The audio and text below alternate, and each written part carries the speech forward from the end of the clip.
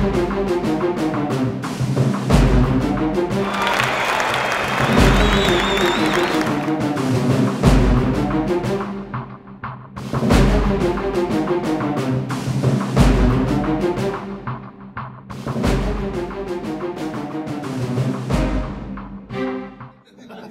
okay, so the title of this talk is Great Developers Steal.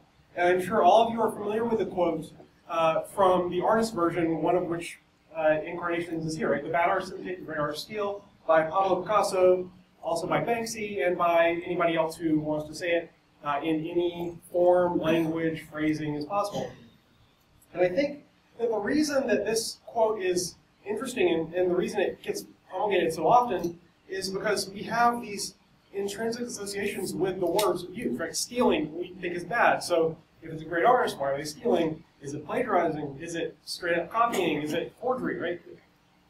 The interplay between what the words mean in common usage and what they imply in this particular structure is what makes this quote exciting. Um, and I, I think that, well, I hope that after this talk, you'll get a sense of how that applies to us in software development.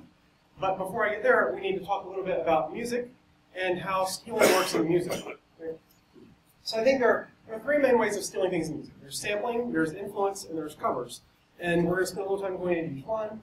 Sampling first. Right? Sampling is pretty much as close to stealing in music as you get, unless you actually go and steal somebody's digital masters and install them as your own.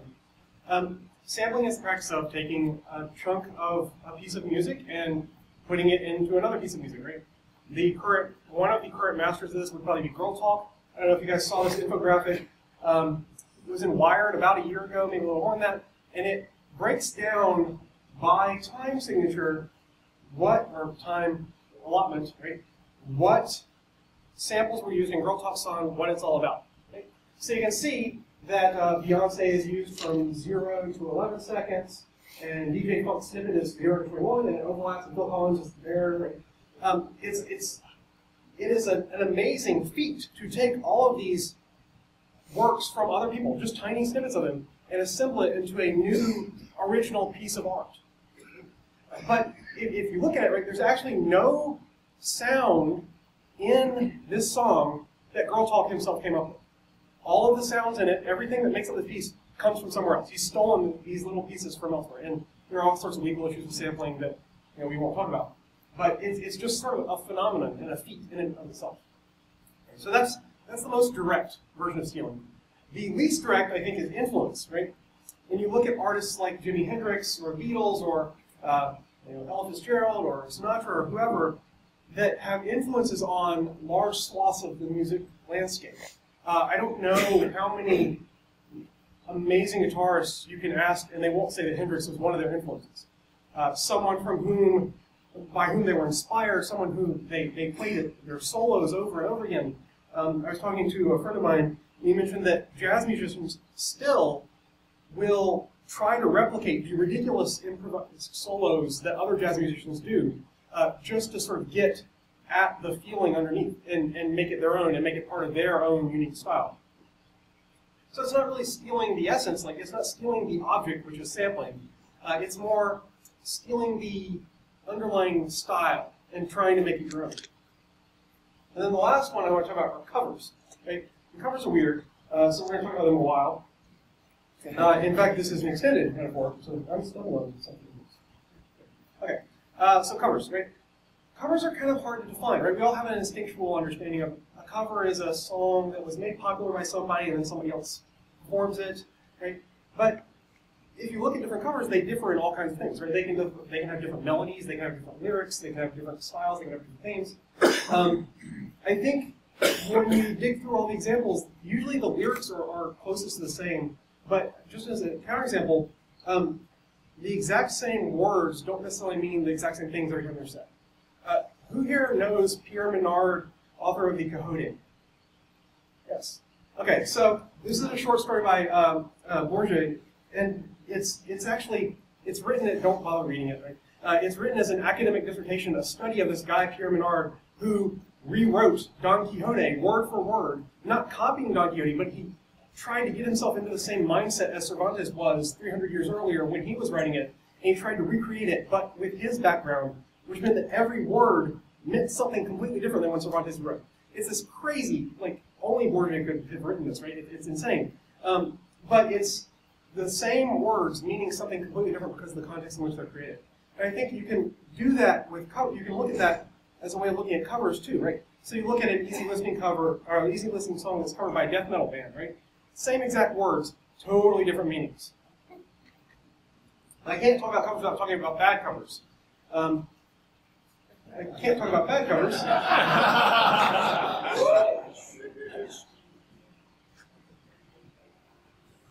I think it's only on your computers. It is lonely up here in space. On such a timeless film. Yeah, okay, so that was just a, a sample of that cover. and you should be grateful that it was only up here. And I am the only one who really had to suffer for it, except for like Jeff. Thanks, I'm man. sure he has this album, so. That's true. Yeah, so, uh, so bad covers can be bad in, in one of two ways, right? They can be bad aesthetically, which I think this one is, uh, or they can be bad because they don't make enough of a difference to the song. Good covers, on the other hand, uh, I think the best covers are those where uh, you really have genre bending, right? I think you can have great covers. You can have a great jazz cover by another jazz artist, or a great pop song covered by another pop artist, and they can be fantastic. But the really interesting ones are where you cross genres, because different genres are good at, at expressing different things. You don't listen to easy listening when you're in a suicidal mood, right? You listen to death metal. Not that everyone who listens to death metal is suicidal, but that, that's just the, the idea, right? So it's, it's really useful to pay attention to genre. Um, and this again is where you get the same song expressing something completely different.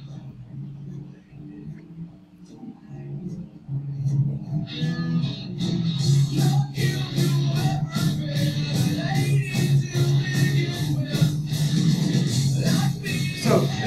Frank Sinatra's version of, well, not his version, right?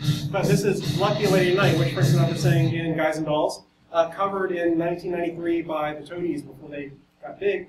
Um, it's obviously very different than Frank Sinatra ever would have sung it. And it, actually, I picked it because when, in 1993 I was working in a movie theater, and this guy brought in a two CD album set of covers of Frank Sinatra by punk and alternative rock bands. And it was filled with really good covers like this one where they sort of made the song their own and they used it to express emotions that Sinatra would not have.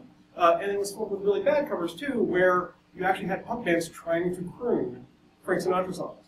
I, I did not actually uh, include any of those covers, so you can all thank me. Um, I can't really talk about covers though without talking about one other way of stealing, but this is even less like stealing than else. Right? Standards, right? In covers only came into existence in the 50s. Before that, and in certain genres, songs don't really belong to people as much. I mean, legally they do, but but in like the 30s, a popular song would immediately be re-recorded by 18 different other artists, and you would go to the record store and say, "I want this song," not "I want Bing Crosby's the song."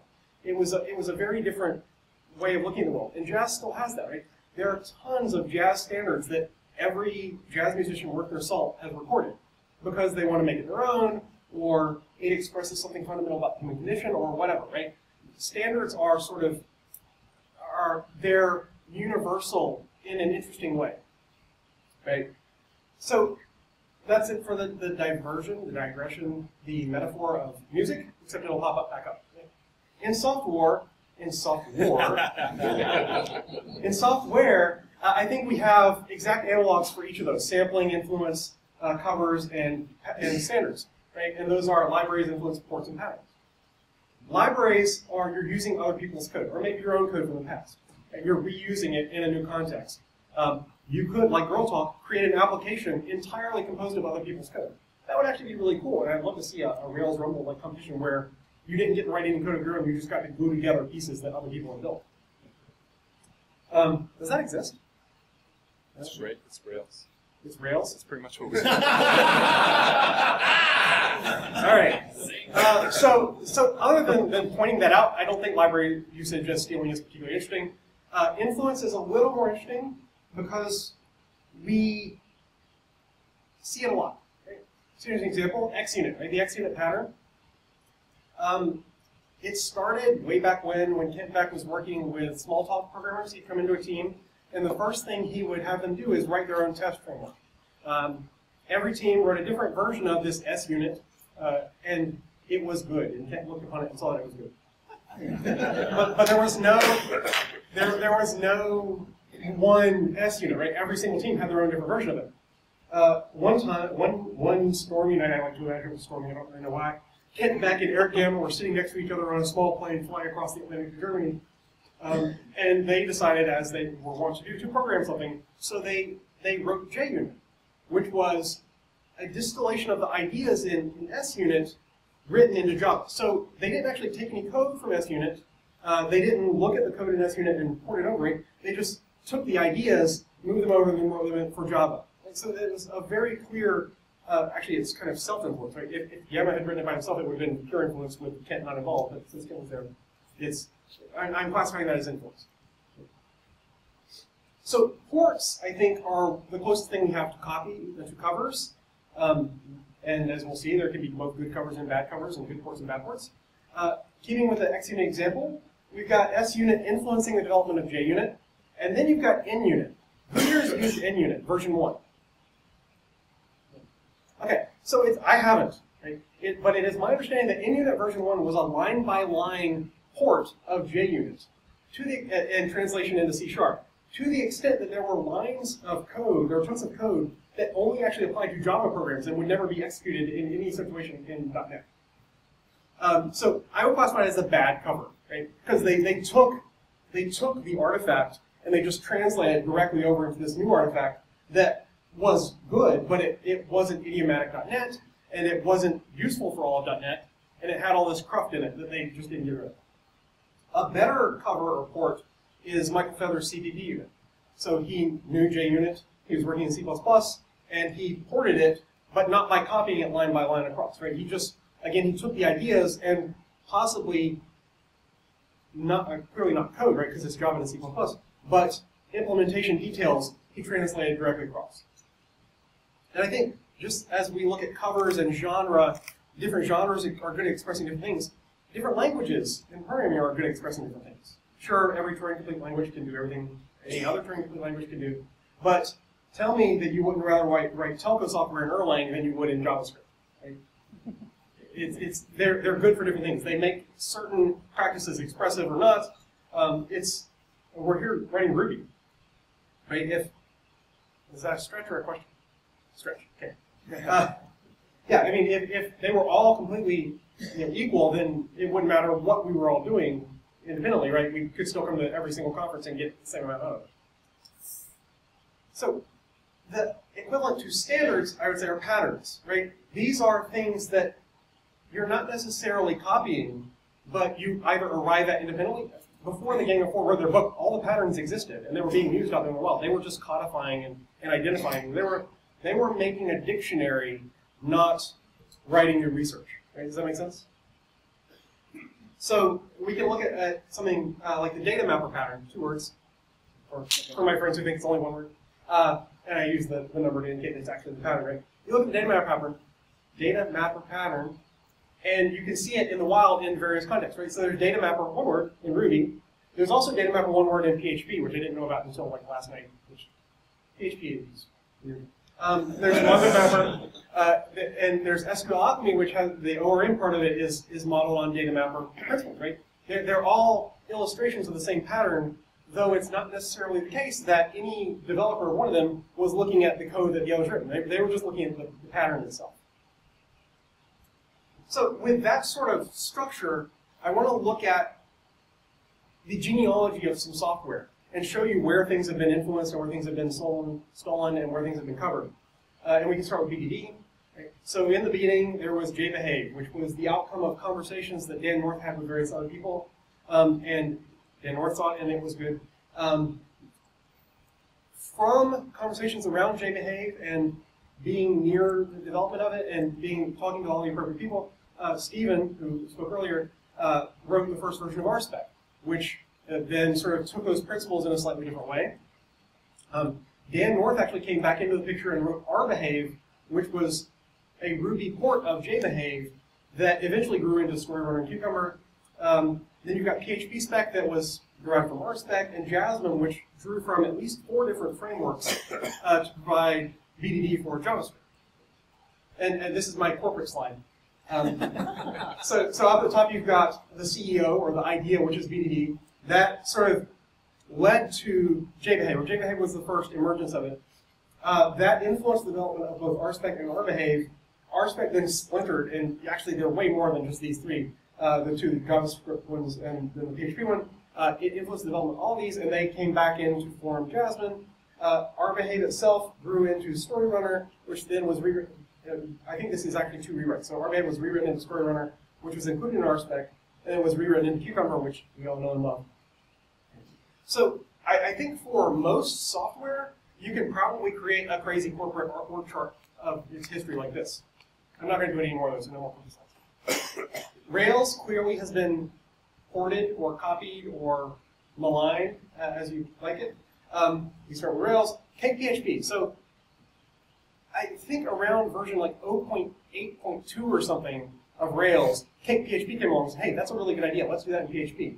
And for a while, Rails would release a new feature, and a month later, CakePHP would drop a new version that included that feature. It was like clockwork. Um, it was it was really kind of sad for the CakePHP folks. Uh, I, guess they were happy they were writing PHP. Yeah. Um, but but uh, since then, I, it is my understanding CakePHP has evolved in its own direction. But for a while, it was a very direct cover, and I would argue a bad cover of Rails.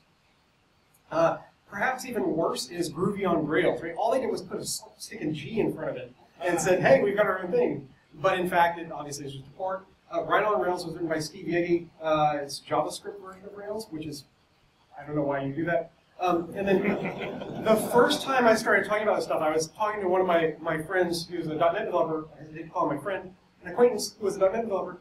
Um, and he said, oh my god, ASP.NET steals everything. And he proceeded to list off, you know, Hibernate? Yeah, we have NHibernate and whatever we have in whatever, etc. Um, in fact, yes?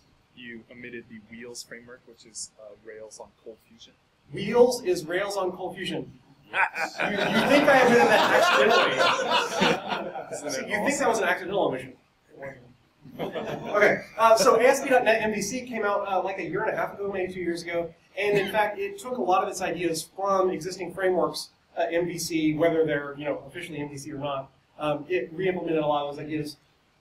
Some of that, I'm sure, is, is trying to implement the same pattern. Some of it is is just straight up copying.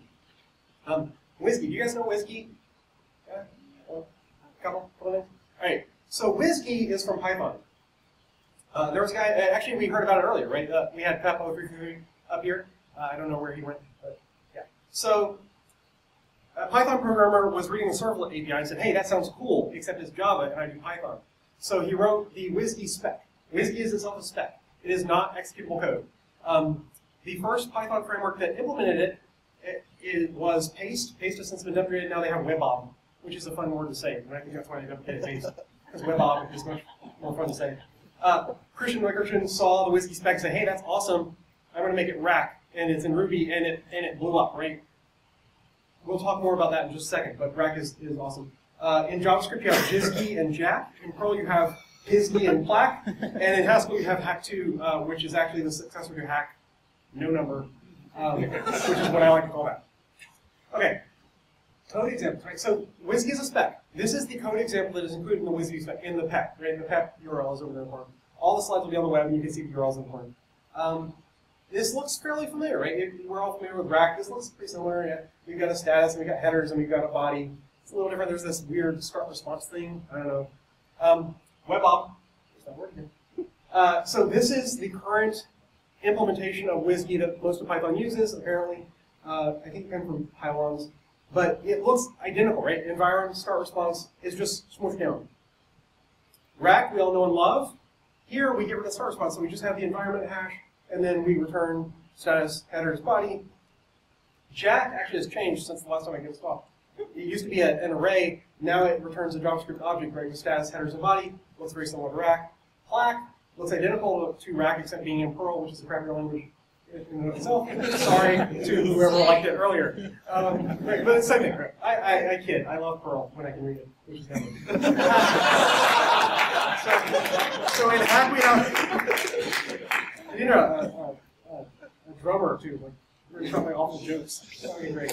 Okay, so Hack is in Haskell. Actually, I find this even harder to read than Perl. Um, but it, you, you can see what's going on, right? There's response 200 status headers and, and string, right? So we have a clear pattern here. We also have a pattern in the naming. So a quick interlude on naming. Notice that most of these were called ACKs, right? Jack, Plack, Hack2. I'm sure actually, I'm sure there's not a NAC, but there would be if .NET didn't have a server built in. Um, That's Node. Node, NAC. Uh, um, so they're all named after Rack. Whereas some of them, we have some things named after whiskey. When I gave this talk the first time, there was no JSGI, so it was just whiskey and PSGI. Also fun words to say. Um, right, so, so the, the idea here is that you can trace genealogy by looking at the names people use. So I bet you that Plack was written by someone who was not being inspired directly by whiskey, but was by, being inspired by rack. right? That, that's the end of that interlude. So Sinatra, we all know and love Sinatra. Sinatra also has, I, I, I'm going to make this claim, and I have no evidence to back it up, but you're not going to, yeah, whatever. Uh, Sinatra is the most copied web software in the world. That's my claim. Because if you look at any language, there are at least half a dozen clones of Sinatra. Most of them are like somebody started to do it because it looked easy and they stopped, but they're there. right? So uh, let's look at these. Ratpack, Flask, Slim, and Nancy. I could have put like, twice as many on there without a problem. Sinatra, we know, uh, so you can render a template, you can pull a param out of the, the URL, and you can process uh, post data, and you've got request body, blah, blah, blah. Ratpack is the Groovy version. Shockingly, it looks so much like the Ruby version, um, except you have to set a template root. Flask is the Python version. Um, it's a, a little more crufty, and it's got you know four spaces to indent because it's Python. Um, but it does the same stuff. Slim is a PHP version. I think there are more PHP versions of it than anything else. Um, oh, that's probably a mistake. It shouldn't be Slim colon colon. It should be dollar app rendered. But um, yeah, it looks like PHP. Nancy, this one shocked me. This is the .NET version of Sinatra. This is all. There's not like eight, eight, eight screens of configuration import crap in the front of This is all it is. It, they actually did a really good job of this, and I, my hat is off to the Nancy people. Um, so uh, again, on naming, again, notice we've got Flask, clear association Sinatra, Nancy, Sinatra, uh, Slim, which I guess is a nickname for one of the Rat Pack, Rat Pack. There's also Fitzgerald. There's Blue Eyes, which is a Scala framework. There's uh, what? Sammy JS. Yep. Um, so a lot of them are named according to Rat Pack members or Sinatra himself. Um, the first Scala framework that was a port of Sinatra. Does anybody know what it was called? So there's Blue Eyes now, which is more popular. But the first Scala framework was named Scalatra. I, I think they kind of missed the boat on the source of the names there. But yeah, okay. So, so we've seen lots of examples of, why, uh, of people actually stealing. Why should you, therefore, go out and steal? Everybody else is doing it. If, if I told you everybody else is jumping off bridge, would I expect you to? No, but you should steal. There are three three reasons to, to look at taking ideas and code from other languages and other places and making them your own. The first is opportunity. So you're out learning language, you see something awesome, you say, hey, that's cool shit. I wish I had that cool shit in one language I work in at work. You steal it. Um, you guys know Web Machine? Yeah, uh, yeah, I know Steve knows Web Machine. So Web Machine is written in Erlang, and it's it's awesome. It's super cool. And Sean Cribbs, who works for Basho and uses Erlang a lot, saw it and saw, hey, I wish Ruby had something like that. So he created Web Machine Ruby, which is awesome, and you should look at it. Um, it's it's if if you like Steve's talk on hypermedia APIs, Web Machine is where you should look. The second reason to steal stuff is to educate yourself, and this is kind of reversing things. It's not you find something to copy. Uh, in this case, you want I want to learn Python for what ungodly reason I don't know, um, and so I decide I'm going to learn it by implementing something in it that I already know how to implement. And this is the the blog. Everybody knows how to write a blog. So when you learn a new language or web framework, you go to write a blog in it, right? Um, in real life, well, in in non-software, I guess software is real life. In in non-software language stuff, right? When I needed to refresh my Italian before going on my honeymoon, I got the Harry Potter books in Italian and read them because I know the Harry Potter books really, really well. And so I was able to, to actually learn some Italian by reading them. Oh, filosofale means philosopher. I know that now, right? So this is a great strategy. I highly recommend it if you're trying to learn another language. Pick a book you know really well, get in that language and read it. What's that? On tape. Yeah, if you want to speak it. I actually don't like talking to people, so. okay, so uh, the reason I, I, I think the most interesting reason is is need driven, right? Need driven theft. It's like I need to, to feed my family, so I'm going to steal some bread. Um, or I need to solve a really hard problem in my language, I'm going to go out and look for a solution and steal it from somebody else. Um, so a case here would be like, I, I did some iOS work a while ago, and this was before testing was easy in iOS, right? Um, so somebody said, I have a need to unit test the crap out of my iOS projects. Um, there's no answer for that in, in, in Cocoa right now. So I'm going to look around, and there's no good answer. Uh, and I guess he was familiar with Ruby, and he, he's looked at RSpec and that's really cool. I wonder if I can port that over. And he did, and now there's a project called Cedar that is RSpec-like testing for iOS. It's really cool. Um, if you do iOS stuff, uh, does anybody here use Cedar? No? Okay, somebody does iOS, go out, use Cedar, and tell me how cool it is. Uh, preferably very, but moderately would be acceptable. Okay, so uh, you have a need. How do you then proceed with your thefting? Thieving, thieving, thieving, that's the word. Burgling? Burgling. Burgling is good. I like burgling. I don't like actually burgling. I like the word burgling. I like, I like burgling. Okay, scare quotes make everything better. Where to look for stuff to steal? So I think in Ruby we're sort of blessed in that we can look to a lot of different languages to steal things, and it will be relatively easy to steal it. We can look at functional languages because we're kind of functional. We can certainly look at object-oriented languages. Uh, we can look at prototype languages if we want to do something crazy and just use eigen classes and, and you know, yeah. And I think I just made Evan cry a little bit. Was it, was it because of the word or because of the suggestion that people should do it? Suggestion. Okay, don't don't look at prototypal languages uh, unless you're stealing stuff from JavaScript. Okay? All right, cool. okay, I'm going to stamp Evan's approval on that slide. Okay, so where do you look once you've decided, yeah, I want to look around, GitHub, Bitbucket, Google Code, and if you're desperate, SourceForge. Um, right, the, the Sinatra examples, uh, if I recall correctly, I found them by typing Sinatra into GitHub and then just skipping over all the Ruby ones. Even though I could have done an entire slide of just Ruby ports of Sinatra, which is Sinatra, but apparently people didn't think I was good. um, the other place, there are places for specific languages to look. Um, all right. Uh, there are places for individual languages that you can look for more, right? So if you're trying to steal from Ruby, go look at RubyGems. If you're trying to steal from Python, PEPs and PyPI. Uh, CPAN obviously is the granddaddy of all package repositories. I bet you for any given language other than like some language I don't know, you can find a repository of all their packages and look at it and steal stuff. Once you see stuff, how do you know if it's any good? Well, uh, you can look at the activity of the repository. If they have edge case testing, that means that somebody's actually hit the edge cases, which means that somebody's using it. Um, citations are being used in other projects are a good way to tell if it's worthwhile. Documentation and history are extremely important when you're looking for ideas because they document the ideas and they show you how things evolved over time so you can perhaps avoid potholes in your stealing and porting it to your own language. The strong opinions is an interesting one. I hate Haml. Um, Oh, Jeff loves Haml. I liked you. Excuse my cough. Um, projects that in, incite strong opinions in people are interesting and worthy of further discussion. Third and final interlude, mathematics of beauty. You guys know OkCupid, the dating site? Right. So they have a blog called OK Trends, which is amazing. They take their reams of data and they analyze it and tell you cool stuff. Uh, there's a post called the Mathematics of Beauty where they show that profile pictures, you can rate a profile picture one to five, right? One is ugly and five is hot. Um, pictures of people that are rated uniformly high, like average of four, and most of the ratings are four, they get X amount of messages per week, is the average. Pictures where they average four, but they're split between fives and ones, they get like three X. And there are lots of reasons why. Read the post, it's super cool. But it, we're drawn to things where people have diverging opinions, and it's there, it's profitable to look for deeper understanding of those events, in those places, and that software, in those people. Okay, so almost done. What to do? You found your project. How do you seal it? Well, you can steal it line by line, like NUnit version 1. I do not recommend that.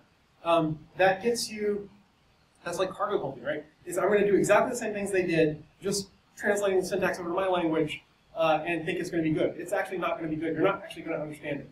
So what I do recommend is acceptance testing. We're talking about fairly large chunks of code uh, that have definable inputs and outputs, so it should be relatively easy to write acceptance tests in whatever language you like, Cucumber, whatever. Uh, run it against the original code. So if you're student Python, run your acceptance tests against that code, and then you write your Ruby version to make match the same acceptance tests. Right? So what you're doing is you're copying the intent of the code, not the actual mechanics of the code. And that's it. Thank you.